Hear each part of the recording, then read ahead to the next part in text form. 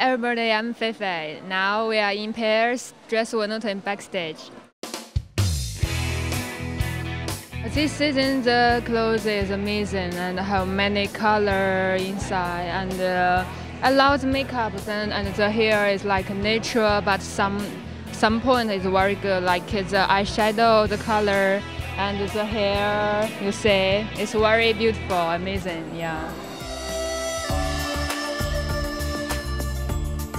Fei faced some tough competition when she decided to become a model. But she didn't let that stop her. In 2008, she represented China in the Elite Model Look contest. Her signature cheekbones and powerful gait caught the eye of agents from around the globe. The Elite Model Look, the match, and I joined the agency and uh, started modeling, yeah.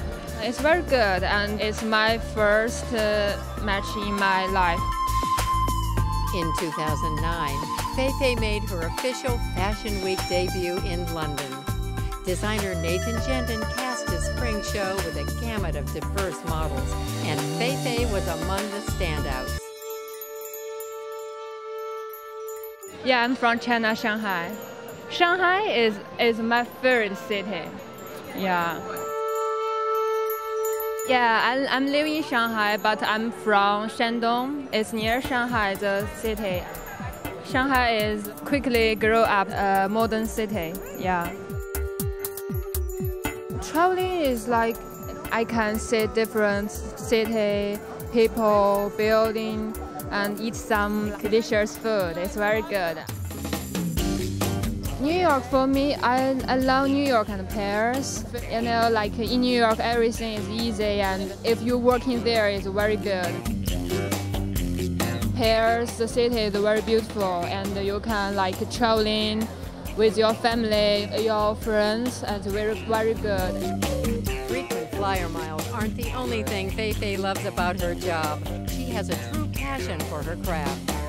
I like, I enjoy, and like the fashion week every day is crazy, busy. But you know, the feeling is very good. I love fashion week. Uh, when I'm working on the runway, everything I feel is changed. Uh, you know, the camera, the fashion director, everybody look at me. The feeling is amazing. You know, everything is just you this moment just you is very good. May like the light at you. It's amazing, yeah.